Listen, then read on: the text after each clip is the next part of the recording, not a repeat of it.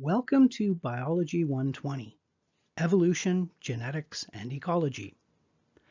That seems like a strange mix of things to throw together into one course, and it kinda is.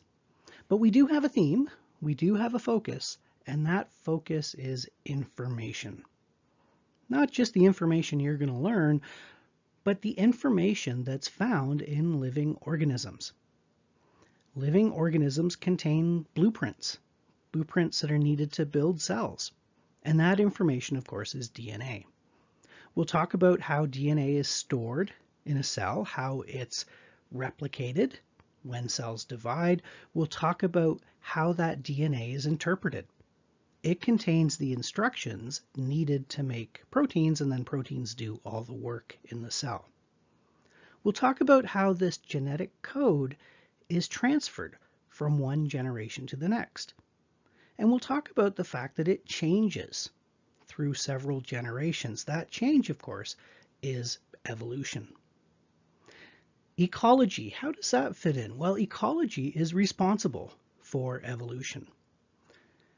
The natural world, the non-living world, the environment you find yourself in, that changes information through several generations. It selects for the copies that work best.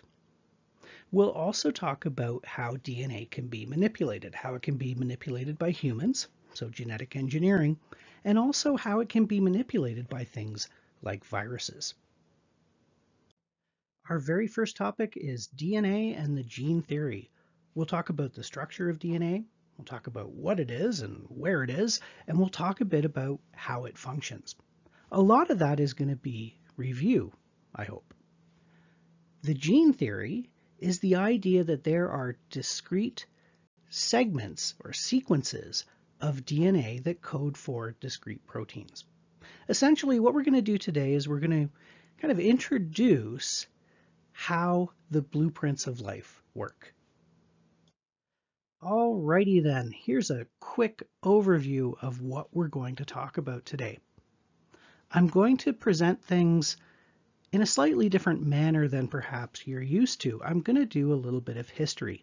This is not a history course. I'm not expecting you to know dates, etc. What I'd like you to focus on are the experiments. Some of them are really quite clever. So we'll talk about the experiments that showed us that DNA was the genetic material, the experiments that showed us how DNA is deciphered within cells, and also showed us the structure of DNA, we'll talk about the experiments that showed how DNA is replicated. We'll go through this in order, starting at the top. So you'll learn about DNA in kind of the same way that humanity learned about DNA. Next, we'll move on to the central dogma of molecular biology, which is not nearly as scary as it sounds.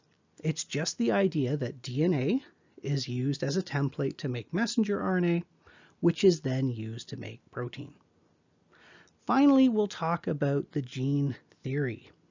As mentioned before, this is the idea that a sequence of DNA codes for a particular protein, and then the protein does work within the cell. Now, I do want to point out that the word theory means something quite different in science than it does in everyday speech. It's not a hunch, a theory is not a hunch in science. A theory is a very well supported and well established model of how things work.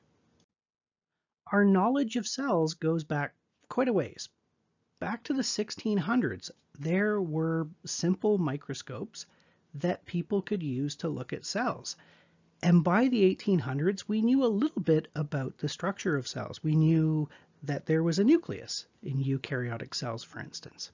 And people had watched cells divide and they had watched the nucleus break down and the chromosomes form. But of course, they didn't know what any of that was and what that stuff was for. So we'll start off here by talking about this man, Friedrich Miescher. And what he did was he showed that the nucleus contains a substance known as DNA. He was the first person to characterize DNA chemically he looked at white blood cells. He was a doctor and also a researcher, and he worked in a Swiss hospital. And he would go around from patient to patient and collect bandages that contained a lot of pus. So next to the patient's bed, there would quite often be basically a trash can. It would fill up with these dirty bandages, and he would literally collect buckets of pus. Now, what is pus?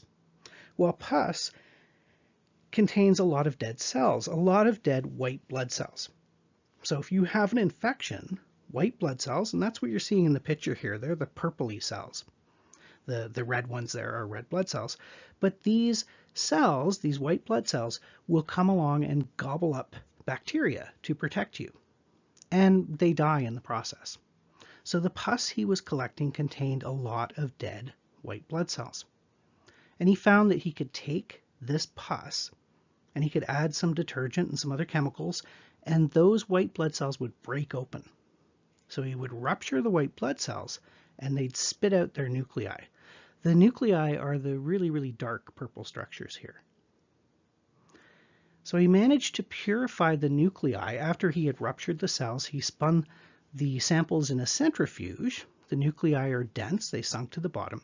So he would purify the nuclei and then he would subject them to alkaline dissolution. This is where you add some very strong alkaline uh, compounds to your tube.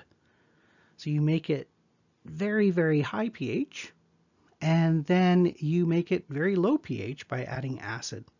And he probably would have added some ethanol as well. What this process does is it causes the DNA to separate from the nucleus, and the DNA will actually precipitate at the bottom of a tube if you spin it in a centrifuge. So again, he isolated the nuclei, and then he isolated the DNA out of the nuclei. He was just trying to figure out what was in the nucleus of cells. He coined the term nuclein. So we already had a term for the nucleus. It's at the center of the cell. Nucleus means uh, center or core or kernel. And he named this mysterious substance nuclein. We later called it DNA. And he was able to put it through some chemical tests. And he figured out that nuclein, DNA, contained nitrogen and phosphorus. But, interestingly, no sulfur. And we'll talk about why that's interesting in a little bit.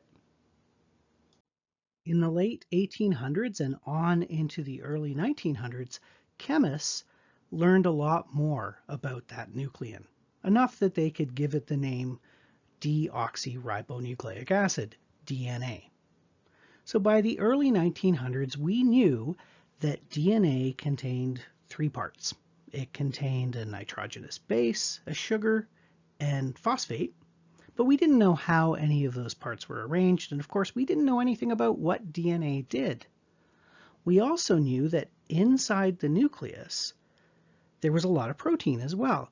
The chromosomes that we can see under a microscope as a cell divides are half protein and half DNA. But no one knew what the DNA and what the proteins did. So we're going to skip ahead to 1928 and an experiment by a man called Friedrich Griffith. And what Friedrich uh, Griffith showed us was that cells contained information that could actually be inserted into other cells and change them he did this really cool little experiment using two different strains of Streptococcus pneumoniae. A strain is a slightly different form of a bacterium in this case. So like in dogs, we have different breeds, we have slightly different forms. So they're the same species, but they're a bit different.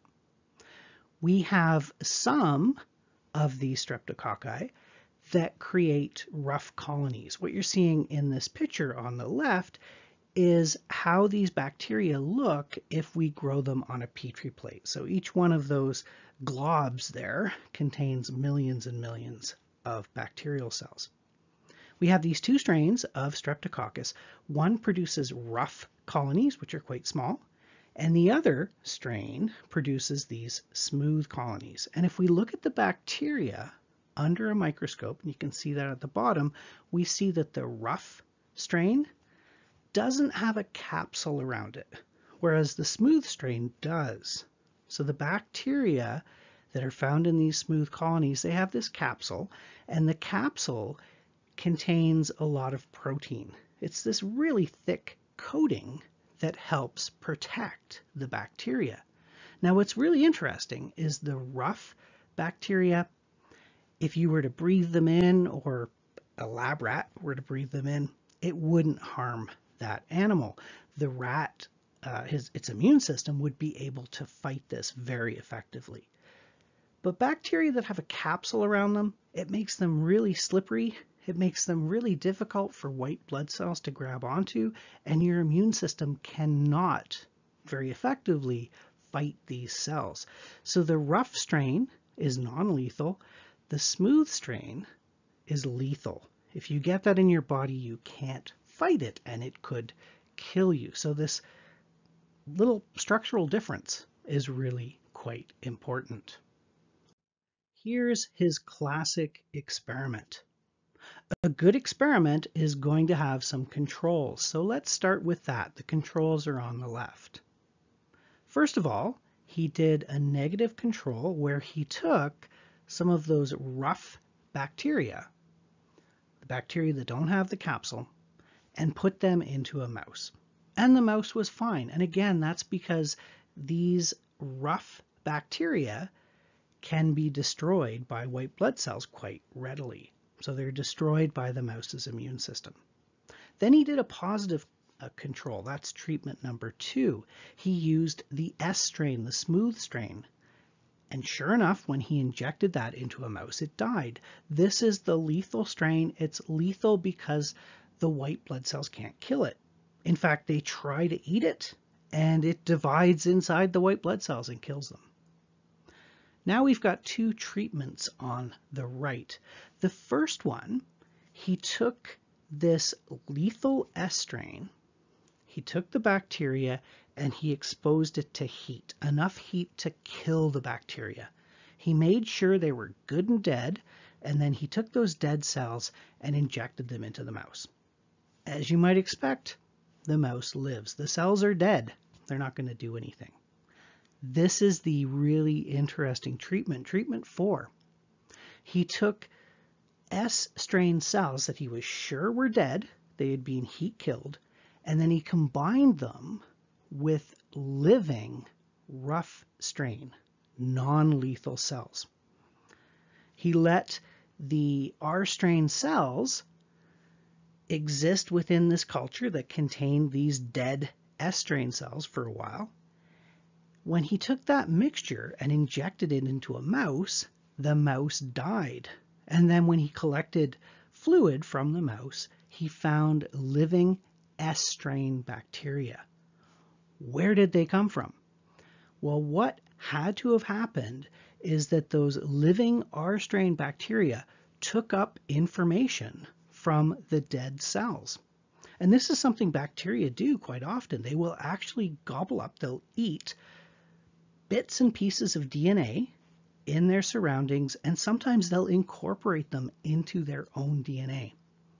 So the R strain doesn't have the information needed to make a capsule, but it got that information from dead S strain cells and incorporated that information into its information.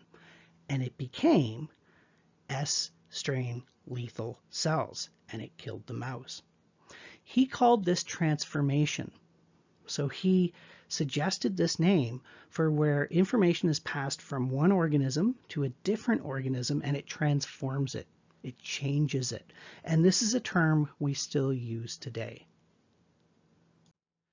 Griffith's experiment was very important. It showed us that characteristics, like the presence of a capsule for instance, are coded for by information, and that information can be passed to a different cell, and that cell can change. It can acquire that characteristic. But his experiments did not tell us anything about what the information was or where it was in the cell. Along came a man named Hammerling in the 1930s that showed us definitively that that information was in the nucleus of eukaryotic cells. Now remember that Griffith's experiment was using bacteria. They don't have a nucleus. Hammerling worked with these remarkably large eukaryotic cells from a group known as the acetabularia. And these cells are really quite remarkable. Here's a better look at these cells. So each one of those structures, that disc with a stalk on it, is one cell.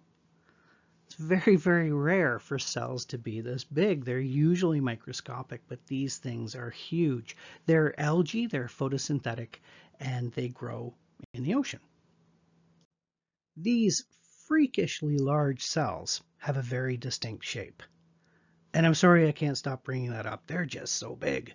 But anyway, they have a cap at the top and the cap is usually kind of disc shaped or it's kind of fluffy. And what it does is it absorbs sunlight. These guys are photosynthetic algae. At the other end, at the bottom, it has something called a rhizoid, which looks a lot like a root, and that's what it does. It holds the cell firmly to the bottom of the ocean, to a rock, for instance. In experiment A, what he did was he cut off the top of one of these cells. And what he found was that it could regenerate a little bit. It could regenerate the cap and it could regenerate part of the stalk. And then it would die. He then took the rhizoid, the bottom part that contains the nucleus, and did the same thing. He cut that off, put it aside, and let it do its thing, and it regenerated a brand new cell and that cell was healthy and it went on to divide and create more cells. So why the difference? Well, the nucleus obviously contains information. It contains the information needed to make the rhizoid and the stalk and also the cap. And in order for the cell to survive and then to make other cells, it needs to have that information. If you've been paying attention, you might be asking, well, why was the top little bit able to make a cap. Why did it get that far? That's because it contains some messenger RNA. We'll talk about what that means later, but there's messenger RNA floating around in the cell that contains information that's decoded by ribosomes, and there was enough information there to make the stalk, but then all that information was used up. We couldn't generate any new messenger RNA, and the cell dies. Uh, RNA doesn't last very long, it breaks down. So that's his first experiment. His second experiment was even cooler. He took two different species of these cells that look quite different and he swapped their nuclei. That's pretty cool. That's kind of like taking two people and swapping their brains, although not really. Anyway, you can see that these two species look quite different because the cells are so big, you can actually put them under a microscope and you can extract their nuclei. The nuclei are also quite large. You take a very, very fine glass needle and you can suck the nuclei out. And he swapped the two nuclei of these two species, put them back in his aquarium, let them recover, and they changed. So they changed to resemble the other species because that's the information they contain. The information they contain now coded for all the proteins that are needed to make those particular structures. So we changed the identity of these cells and the cells went on quite happily dividing and creating new members of that species. A quick recap. What do we know so far? So at this point in history, we know that cells contain information. We know that that information can be passed to another cell and it will read that information in exactly the same way. And we know that that information is in the nucleus. Now I mentioned that we knew about chromosomes long before these more recent discoveries. We knew about chromosomes back in the 1840s. People took cells that were in the process of dividing and they used dyes that would stick to the chromosomes so they were easier to see. And chromosome actually means colored body. Zome means body. Chromos means color people watched cells divide and they realized that the chromosomes were coming out of the nucleus and they were divided equally during cell division.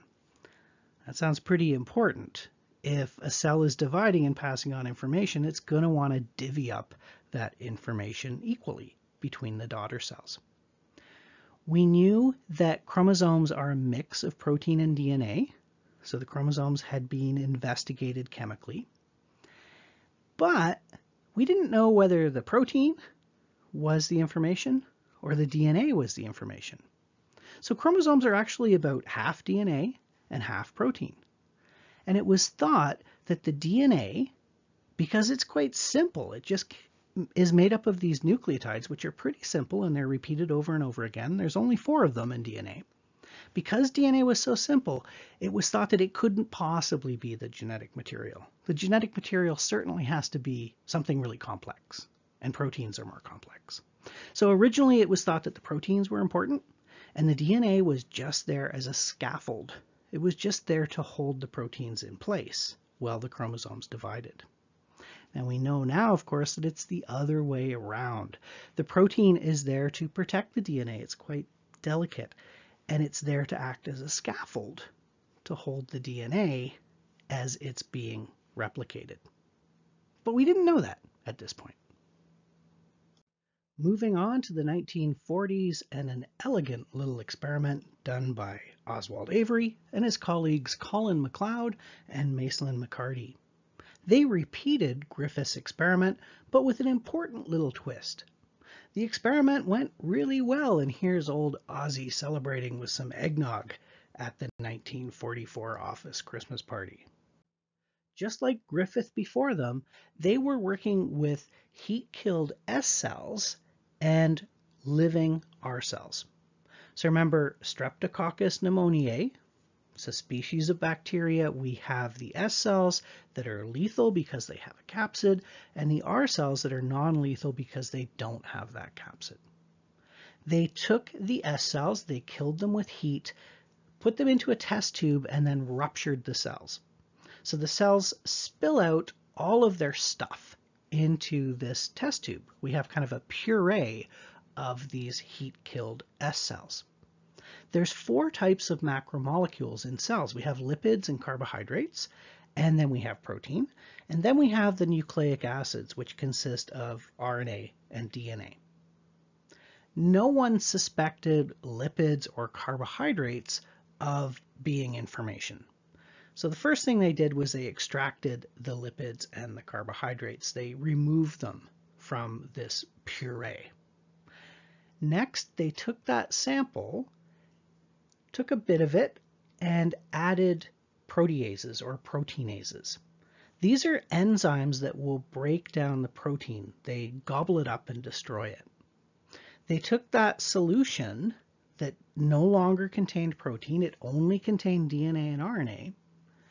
They added that to their R cells and then injected that mixture into a mouse and the mouse died. So there was something still in that mixture that could transform the R cells and make them lethal.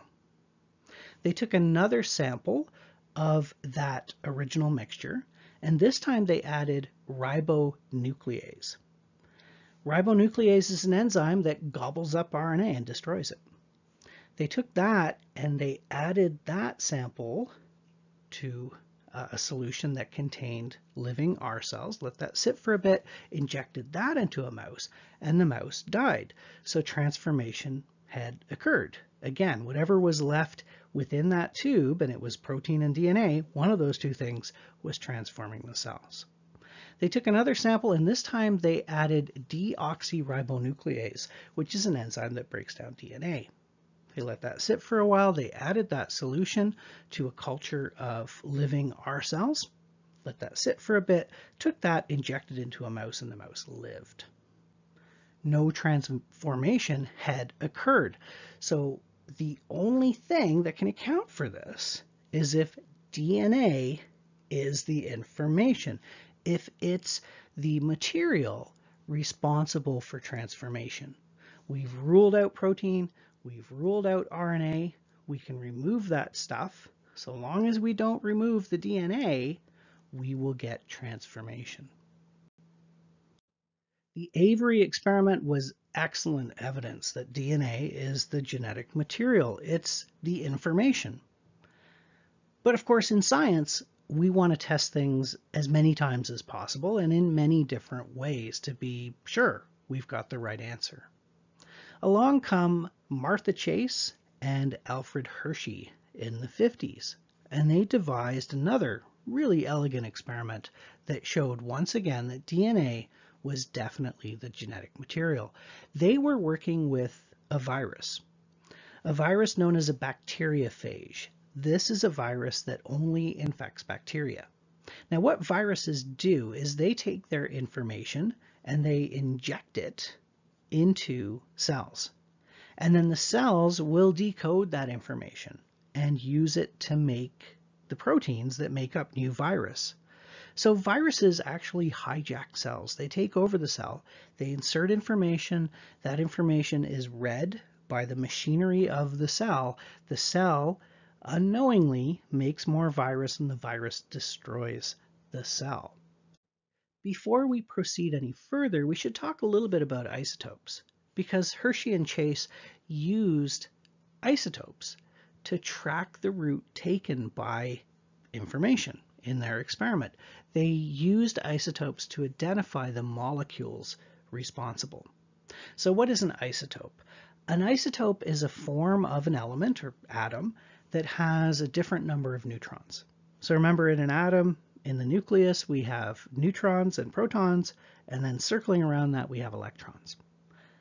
The number of protons and electrons is the same for different isotopes of an element. The number of protons and electrons determine the chemistry of that element. But in different isotopes of an element, we have a different number of neutrons. We have a number of different isotopes that are really important in biology. They're important in biological research. They're important in medicine as well. We'll talk about some of these later. But first of all, we have hydrogen at the top of the periodic table here. Hydrogen is kind of weird because it doesn't usually have a neutron. It has a proton and an electron, and that's it.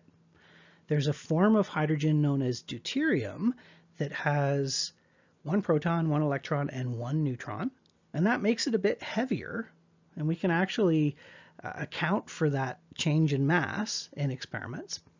And then we have a form of hydrogen known as tritium that has two neutrons and one proton and one electron, and that would be H3. So the number three there tells us about the atomic mass of the nucleus. It's got three things in the nucleus. It's got two neutrons and one proton. Another important element is carbon. Carbon usually has 12 uh, components inside its nucleus. It's got six neutrons and six protons. But there are other forms of carbon, and you might have heard of carbon-14. It's got two extra neutrons. It's kind of important when it comes to dating things, determining how old something is. Uh, we can't use that for dinosaurs. We'll talk about that more. I mean, this course covers so much stuff. Uh, but we can use it for dating like an Egyptian mummy or something like that, or a woolly mammoth. Anyway, we'll get to that stuff later. We have nitrogen, and for nitrogen, usually we have an atomic weight of 14. We have seven neutrons and seven protons, but we can have an extra neutron, and then we have N15, and it's a bit heavier, and that can be useful, as we'll see. We can use isotopes of oxygen, we can use isotopes of phosphorus, and this one's going to be important in a moment, and we can use isotopes of sulfur to track the movement of molecules within a cell or between a virus and a cell in this case. So P32 has a couple of extra neutrons and that actually makes any molecule that contains it radioactive. Quite often, not always, but if we add extra neutrons, sometimes the atom becomes unstable and it will occasionally break down and throw off some particles that we can detect as radiation. And the same with sulfur. S35 has a couple of extra neutrons. It's unstable, it emits radiation, and we can track that radiation and track the movement of a radioactive substance containing sulfur, 35, within a cell or between a virus and a cell. This is the virus that Hershey and Chase used in their experiments. As mentioned, it's a bacteriophage. That is a virus that only infects bacteria. It doesn't infect eukaryotic cells like our cells. The particular virus they use, this T2 bacteriophage, infects E. coli. Those are bacteria that are grown in the lab quite often. We have them in our intestines as well.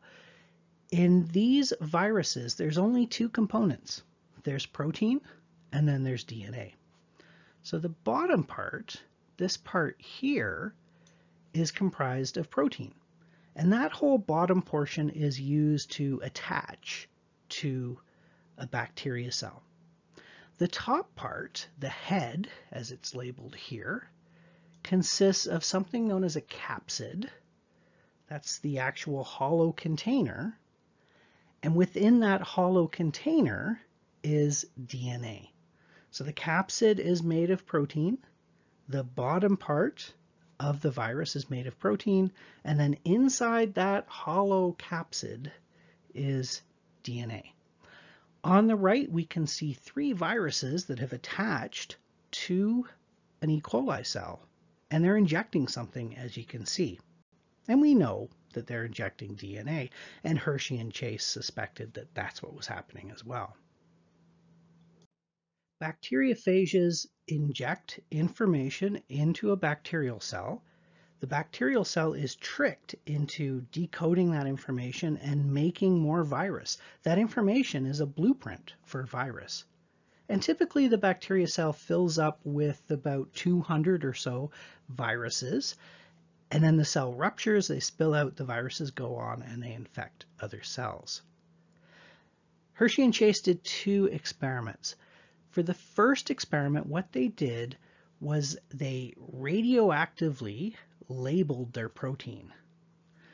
What I mean by that is they took their viruses and they let them reproduce over and over again in a culture of bacteria, but the only source of sulfur was radioactive. Now think back to the beginning of this lecture.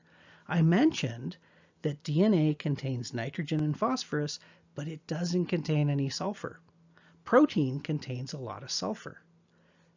So after these bacteriophages or phages had been grown in this solution, their proteins were radioactive because their proteins contained this S35 they took their radioactive viruses and they transferred them to a new solution.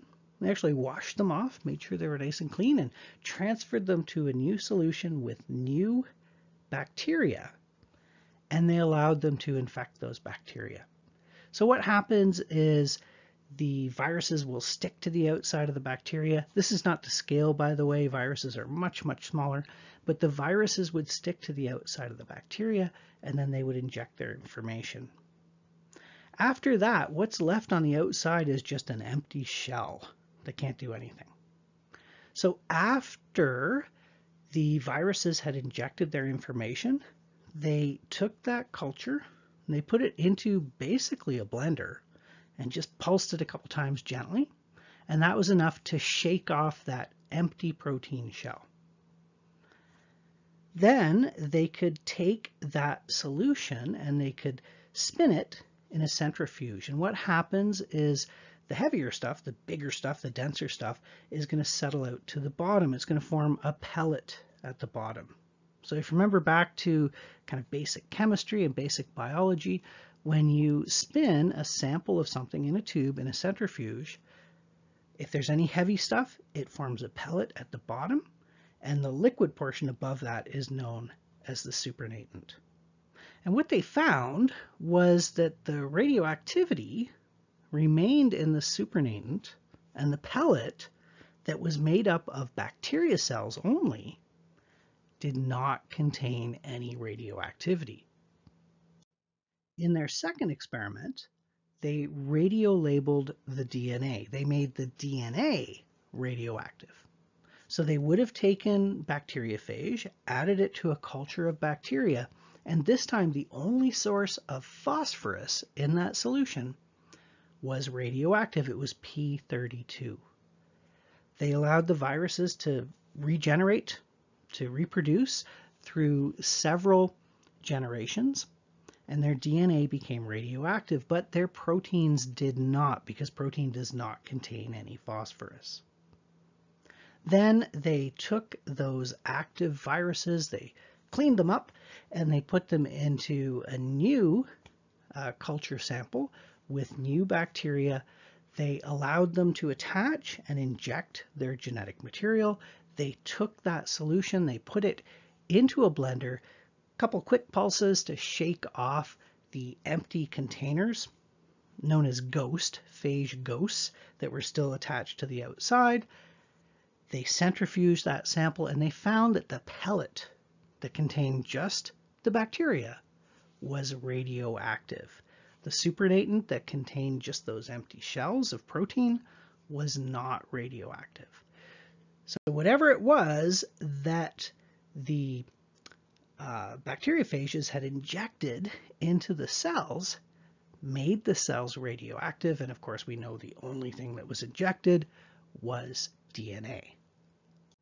To summarize, these two experiments showed that DNA was injected into the cell, while the protein stayed on the outside attached to the cell. So in the first experiment, the supernatant was radioactive, and that's because that was the experiment using S35 that labeled the protein. The protein did not pass through the cell wall and the membrane. It didn't get into the cell. The second experiment showed that the DNA passed into the cell because in this case, the cell pellet was radioactive and it was the DNA that had been radio labeled with P32. So the material that's required, the blueprint, the instructions that are needed for making virus are contained on DNA and not protein. I realize this is a somewhat complex experiment, so let's take one last look at it. We have our phage, our bacteriophage. The green here is protein, and the blue is DNA. So we have this protein coat that consists of these legs that latch on to the cell and then an empty capsid that contains the DNA. The DNA is inserted into the cell. We know that now, and we owe that to experiments like the experiment by Hershey and Chase. So remember in their experiment, they labeled the protein with radioactive sulfur, S 35. That stayed on the outside of the cell. It didn't enter the cell. So it has nothing to do with the infection, obviously. The DNA did enter the cell, and that's the information needed to create new viruses. That shaking is what happens in the blender, and it knocks off the, uh, the protein, the capsid and the tailpiece, and then that ends up in the supernatant. In the second experiment, they labeled the DNA with radioactive phosphorus, conducted the same experiment again, showed that it was the DNA that was inserted because when they shook off the empty protein ghost,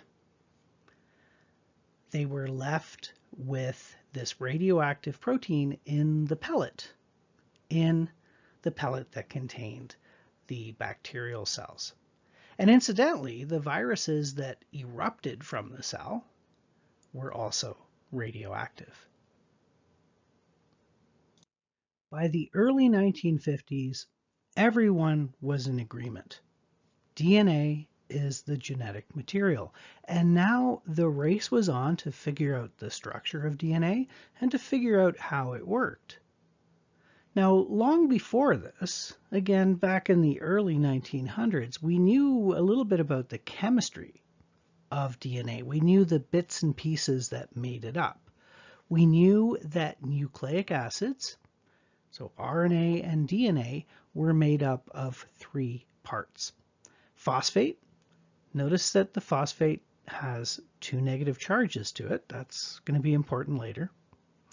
A sugar, which was ribose in RNA or deoxyribose in DNA, and also a nitrogenous base, which consisted of one or two organic rings containing nitrogen. The nitrogenous bases, as we'll see later, are the really important part. They actually contain the information. They can be placed into one of two groups. We have the pyrimidines, which are smaller. They consist of one organic ring, and that would be thymine and cytosine in DNA. And then we have the purines, which are wider. They consist of two organic rings, and that would be adenine and guanine in DNA. There are several different ways to represent these structures that you might come across in my lecture notes or in your textbook. At the top here we have a simplified drawing of a pyrimidine and a purine.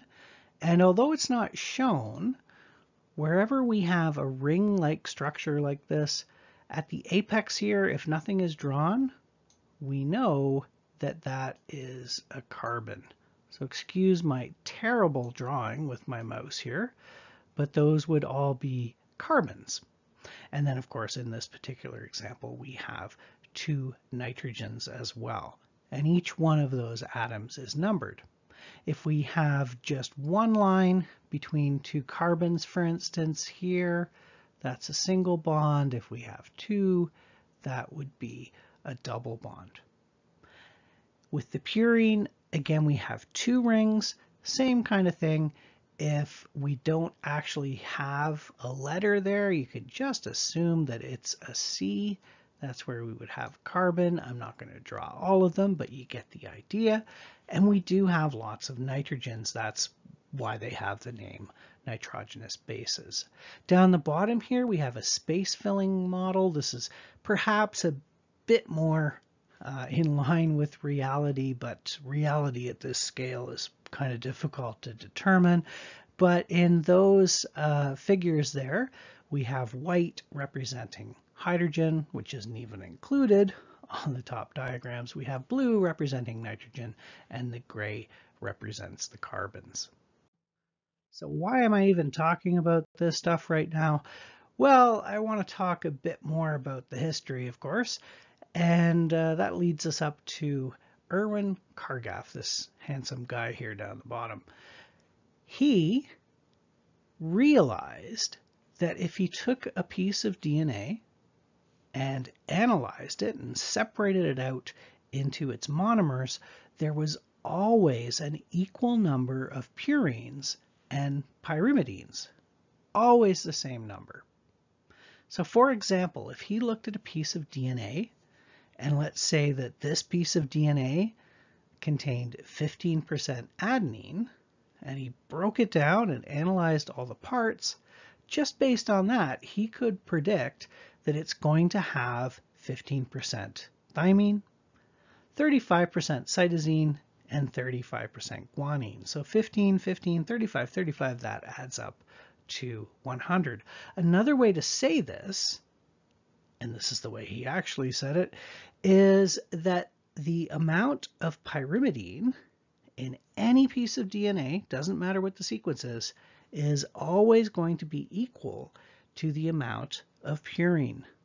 So we have 50% of each. This became known as Chargaff's rule. Now, he didn't name it that. He wasn't quite that arrogant.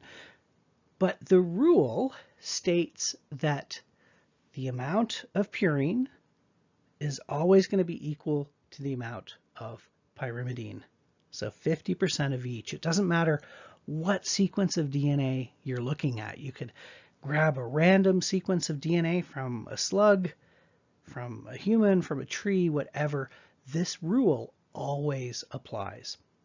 And to break it down a little bit more, the amount of adenine, or A, is always equal to the amount of thymine, or T.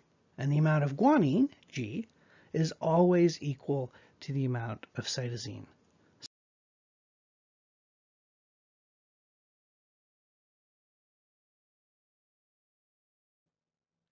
When it comes to DNA, there was just so much going on in the 1950s. Moving on to our next really important researcher, Rosalind Franklin. Rosalind Franklin was doing something known as X-ray diffraction crystallography. Now, I am certainly no expert on this, so I'll simplify this greatly. Basically, what you do is you take a pure sample of a substance, in her case DNA. You take this very pure sample and you crystallize it in such a way that all the molecules align parallel to each other you take this crystal and you shine x-rays through it. The x-rays will pass through this crystal and bounce off of the molecules where they're detected afterwards by a sheet of photographic film. Now, if you have an expertise in this area, the images that are created by doing this can tell you quite a lot about the shape of the molecule. What we're seeing in the bottom right hand corner is one of Rosalind Franklin's images. We've got this X-shaped design on this photograph. And again, for people that do X-ray crystallography like this, this is something that can point towards a helical structure. A helix is a spiral. Now, Rosalind Franklin, when she did this work, she was very close to understanding the significance of it, but she wasn't quite there. She probably would have been there very, very soon. Notice that Rosalind Franklin died very young. She died at the age of 37. She died of cancer, and although it's not proven, that may eh, be in part due to the high energy x-rays she was working with. She had a very, very important part of the puzzle when it comes to the structure of DNA, and that's what we're leading up to. And uh, by most accounts, she didn't receive the credit that she deserved for that, but we'll we'll come back to that. No doubt you've heard about these two guys, Francis Crick and James Watson. Quite often people will erroneously say that they discovered DNA, and hopefully you realize now that's that's not the fact. DNA was discovered back in the 1800s, but they did piece together the structure of DNA. They didn't do this on their own, and in fact, most of their model is not based on their own research, it's based on the research of other scientists. That's not a bad thing, it's not an uncommon thing. They looked at the research that was going on and they pieced it all together to come up with a working model for the shape of DNA. And you can see in their classic picture on the right there, they've got a bunch of lab equipment, retort stands, etc., whatever they get their hands on that they're using to build this model of DNA. Once it was concluded that DNA was the genetic material, there was this rush of activity by many, many researchers to try to figure out the structure of DNA and how it worked. And there were several models that were proposed. Some people thought that the phosphates were on the inside and the nitrogenous bases were on the outside. Watson and Crick originally thought that. Watson and Crick and others also originally thought that maybe there were three strands of nucleotides instead of two, as we now know. They decided that the phosphates were likely on the outside because that was a more stable configuration. That makes sense. The phosphates are negatively charged. They can interact with water. You might remember from your chemistry classes that water has a dipole to it. What that means is that the hydrogens are slightly positive and the oxygens are slightly negative, and that's because the oxygens have a higher electronegativity and they steal the electrons away from the hydrogen. So the water can interact with the phosphates, and then the nitrogenous bases can form hydrogen bonds with each other. So that's stable. We want to try to balance out all of those charges. The second conclusion they made about the structure of DNA relates back to Chargaff's rule. Remember that Chargaff said that a purine will always pair up with a pyrimidine. A purine has two organic rings, a pyrimidine has only one, so that means we have three rings across the width of a DNA molecule, assuming the nitrogenous bases are in the middle. That makes sense because there was nothing to suggest that the width of the DNA molecule changed. So if we have this Chargaff's rule, that means we always have three rings across and the width of the DNA molecule remains constant. This also fit with the hydrogen bonding that had been observed between nitrogenous bases. So what is a hydrogen bond? Well, they're shown in this diagram as red dots. Let's take a look at the top here. We have this hydrogen, and it is forming a bond with this nitrogen, and it's a polar covalent bond. What that means is the electrons are not being shared equally. The electrons are being pulled towards the nitrogen because the nitrogen is more electronegative. That means it has a higher affinity for electrons. That means the nitrogen becomes slightly negative and the hydrogen becomes slightly positive. If we look at the thymine, the same sort of thing is going on. We have a carbon down here and electrons are being pulled away from the carbon towards the oxygen and the oxygen becomes slightly negative. So the hydrogen is slightly positive, the oxygen is slightly negative, they form a weak bond. Adenine and thymine just because of the way the hydrogens and nitrogens and oxygens are arranged, form two hydrogen bonds, whereas guanine and cytosine form three. And in fact, if you have a piece of DNA that has a lot of guanine and cytosine, it's actually more difficult to pull the two strands apart. The last piece of evidence, and perhaps the most important, was that image taken by Rosalind Franklin. She did not immediately recognize that X pattern on this image of the crystal as indicating that DNA was a spiral molecule, but Watson and Crick did. When they first saw it, they realized the significance of this. They had been, of course, doing a lot of research on this subject and it all came together for them. Now, Rosalind Franklin and her supervisor and her colleagues and Watson and Crick had done a lot of collaboration together and there was a lot of give and take and back and forth. But there's a strong suggestion that Rosalind Franklin did not know Watson and Crick saw this image. Uh, they saw it without her permission.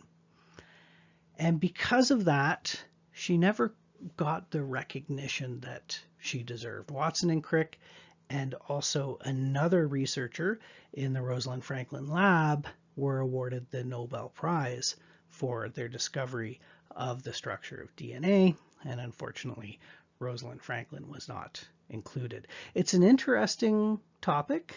There's lots to read about it if you're interested. Uh, just realize it's it's actually quite hazy and quite complex what actually occurred. But it definitely we can say that uh, Franklin did not get the credit she deserved. In any case, so looking at all of this evidence, Watson and Crick figured out that we had this helical shaped structure that consisted of two strands wrapped around each other.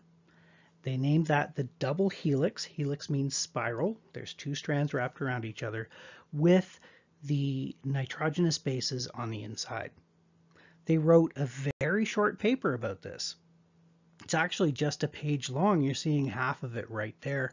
Probably one of the most important papers in biology. Updated reality check. Where are we now? We know for sure, beyond any reasonable doubt, that DNA is the genetic material, and we now know the structure of DNA. It consists of two strands of nucleotides wrapped around each other. The backbone of each strand is made up of a sugar, deoxyribose, and phosphate. And in the diagram on the far left, you can see that backbone, the phosphate and sugar, represented as these blue ribbons. In the middle, we have our nitrogenous bases, and they're held together by hydrogen bonds. Now, hydrogen bonds are fairly weak, but there's a lot of them, so this is a fairly stable molecule. Another thing to note, something we will come back to, is that the strands run in opposite directions. What do I mean by that? Well, if we look at this deoxyribose on one side, compare it to the deoxyribose on the other, you can see that the sugars are arranged in different configurations. They're pointing up with the oxygen at the top on the left and pointing down with the oxygen at the bottom on the other side. We'll come back to the significance of that. On the right, we have a space-filling molecule of DNA, and this has been thoroughly tested, and uh, yeah, we know what DNA looks like now. The paper written by Watson and Crick was short and sweet, and their model was quite simple. And in science, we favor simple. Generally, the simplest explanation for the observations you make is the best explanation something known as Occam's razor that we might talk about again later. In their paper, they also made this rather interesting statement. They said, it has not escaped our notice that the specific pairing we have postulated immediately suggests a possible copying mechanism for the genetic material. What they were saying was that those fairly weak hydrogen bonds that hold the nucleotides together could be unzipped a few at a time quite easily by a cell. And that would expose nucleotides that could serve as a template to make the corresponding strand. And we'll talk about how that works in our next PowerPoint. Because we're close to an hour now and I'm getting sick of listening to myself talk. So I think I'm going to cut it off here and then continue this in part two. In part two of topic one, we'll have a look at how DNA is copied and the experiments that showed us how DNA was copied. And we'll also talk about the genetic code. We haven't talked about that yet, really. We haven't talked about what this sequence of T's and G's and A's and C's actually does. So we'll talk about how that works and how we figured that out as well. So stay tuned, and I'll talk to you again very soon.